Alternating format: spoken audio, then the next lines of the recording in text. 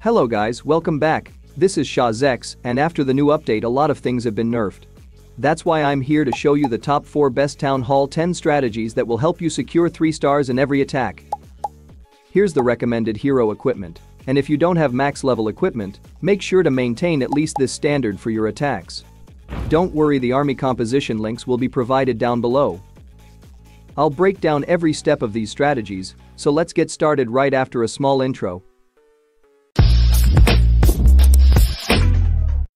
Starting off with our first base, let's understand the situation.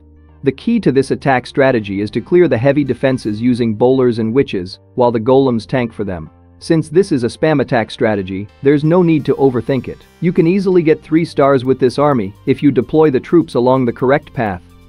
As attackers, we need to understand the opponent's bases. Look for exposed compartments, weak points, and potential paths to the core. Now let me break down the strategy for this base. The enemy heroes in the clan castle are located close to the town hall, so we can start the attack from this side to gain huge value. First, we will drop two golems like this, then place witches in a line, followed by the heroes at this position. Next, we'll deploy the wall wrecker here, ensuring it moves toward the Inferno Tower and Town Hall, creating a path for our kill squad. Meanwhile, we'll deploy the bowlers. Remember, the golems are tanking the damage while the bowlers and witches deal damage from behind. Once the wall wrecker breaks, we'll drop a healing and rage spell on the bowlers. The raged bowlers will destroy the core in seconds and the rest of the spells will be used accordingly. We'll use a poison spell on the enemy clan castle troops and place the jump spell in the core to give our troops access to the middle compartments.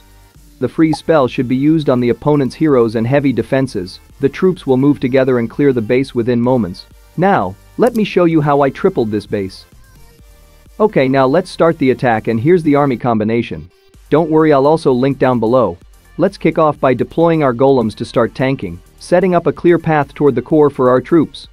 Once the tanking is established we'll release the witches, heroes and wall wrecker down the middle. As the funnel takes shape, we'll deploy all bowlers behind the wall wrecker, which will begin clearing the way for our kill squad. This strategy requires minimal effort, you just need to watch the wall wrecker advancing into the base, followed closely by the heroes and other troops.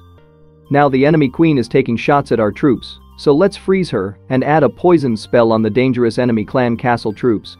We'll also place a jump spell at the core to keep the troops from straying off path without it, the attack risks failing.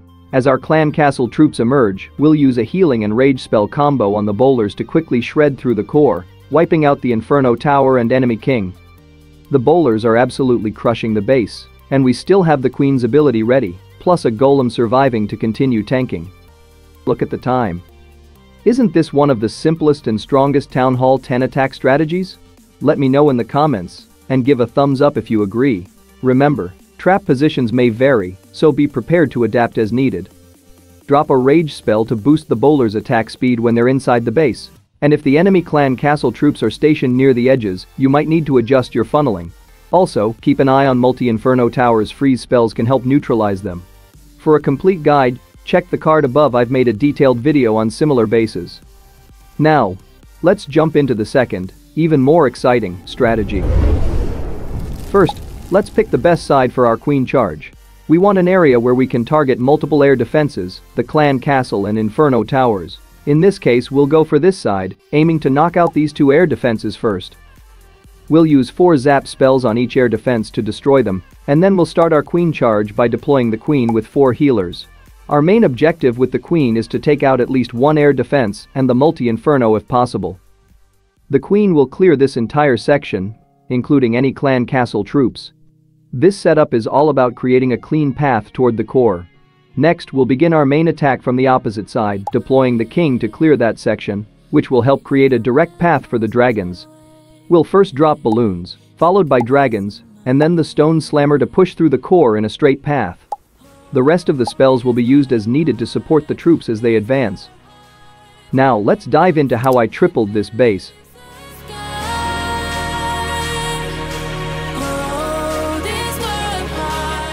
We can take out the queen with the air defense. Yes and now the second air defense. Remember to take down nearby defenses damage in the process. Now we'll begin our queen charge from the selected side, waiting as she clears some trash buildings To keep her on track we'll drop a baby dragon to prevent the queen from straying off her path. This process will help create a straight path for the dragons during the main attack.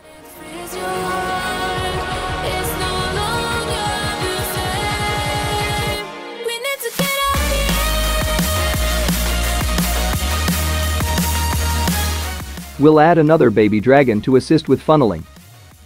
And drop a test wall breaker, followed by more wall breakers to open up a path for the queen.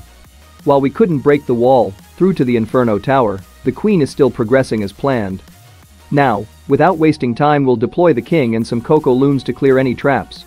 Once the queen takes down the air defense, we'll start deploying the dragons along with the stone slammer. I chose this side because the multi-inferno is less dangerous to the queen than a single target inferno.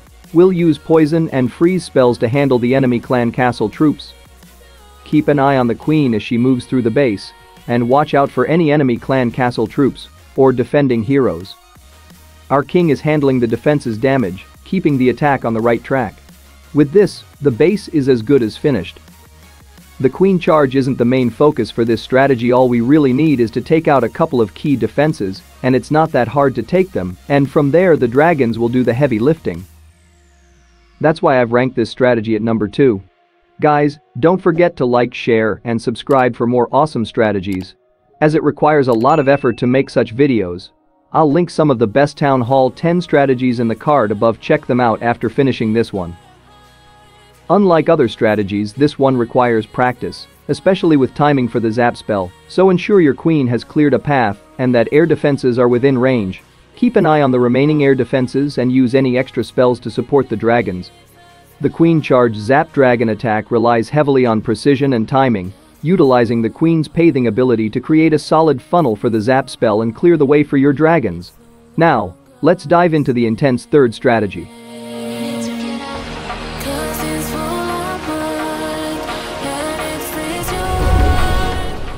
Here's the attack strategy, and I'll start by breaking it down step by step.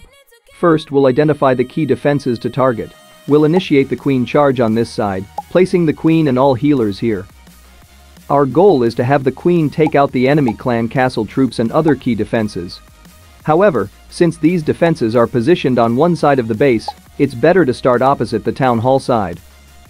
The queen will clear out this entire section, and then we'll drop the king along with some wizards to clean up the outer buildings. The king will clear out his side, paving the way for our kill squad. As the queen and king clear their sides, a narrow path will open up for deploying our miners and hogs. We'll then deploy everything, including the wall wrecker, to drive a straight path into the base. Now, let me show you how I tripled this base. We'll start by deploying the queen and healers, waiting a few seconds for her to clear some buildings. Next, we'll drop a baby dragon to funnel and keep the queen from turning her to the right. Now to open the path, we'll send in wall breakers starting with a test wall breaker first.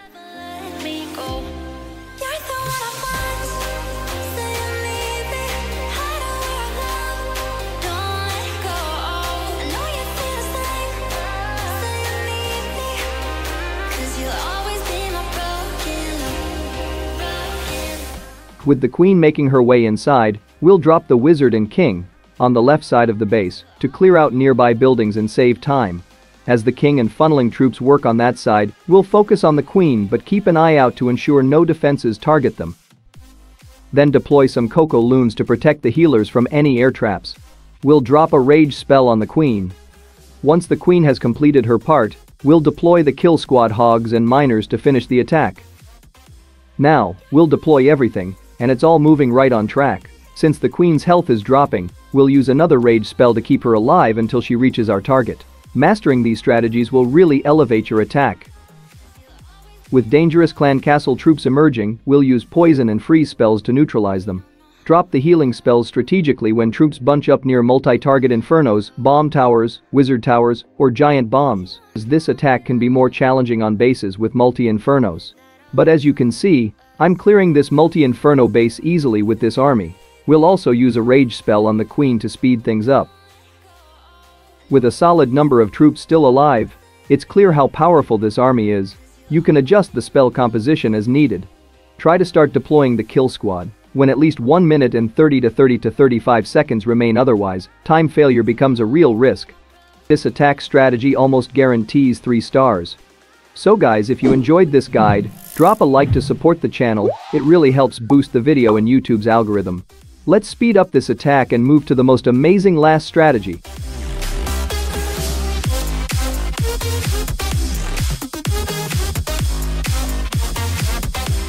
And there you have it. An easy triple.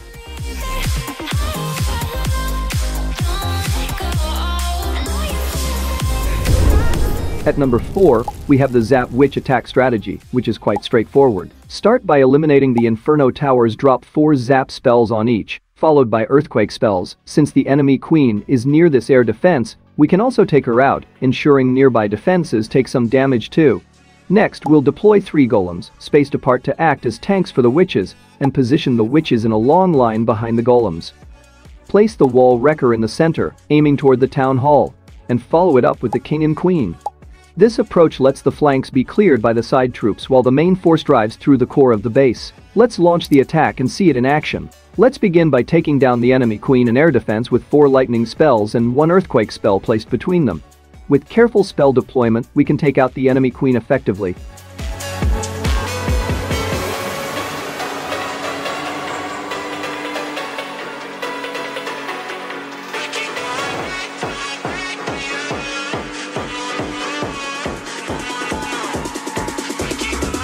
Now it's time to bring in the golems position them so two head down the sides while one moves toward the core. Behind them, we'll set the witches in a long line and the siege machine will open a path for our heroes and witches. Once the funneling is in place and the first wall layer is broken, we'll deploy the wall breakers to ensure smooth entry. The wall wrecker will continue clearing a path for our kill squad.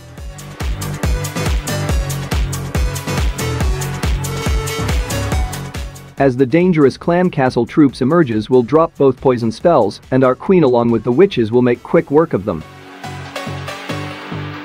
Super minions did some damage, taking out a few skeletons but it's manageable. The bowlers are now out of the clan castle. I haven't used any advanced hero equipment because these strategies are powerful enough that equipment is optional.